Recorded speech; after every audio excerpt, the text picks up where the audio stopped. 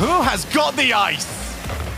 Oh, it's Cash. Ceiling pinch pass attempted. Bit long for Juicy to get on the end of.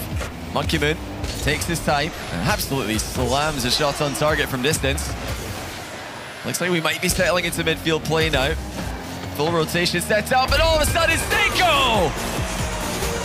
Perfectly positioned for the infield pass. Monkey Moon snipes it towards him. And how about that for a finish? It doesn't get better than that.